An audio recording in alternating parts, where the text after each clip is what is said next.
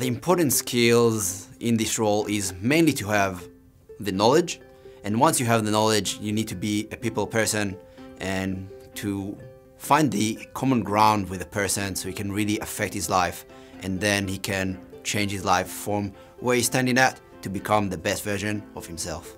Communication in, uh, in the role of being a personal trainer is a crucial one. You want to come across very clear um, so they're not misunderstanding in terms of maybe if you have a thick accent as I had uh, I really worked on it to make sure that I'm clear as possible to my client and nothing sounds like a double misunderstanding.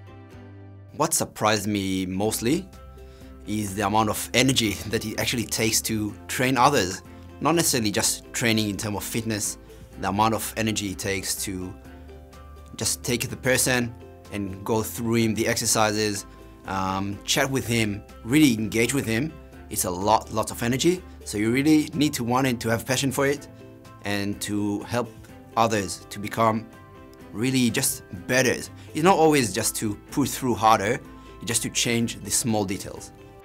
The skill that uh, I would look for in a personal trainer that I want to work under my wing is first of all, a person that want to learn and want to upskilling and work with other people. So for each person we'll have a uh, few different ways to, to work on and different approaches. So brainstorming is a crucial thing when you want to work with others.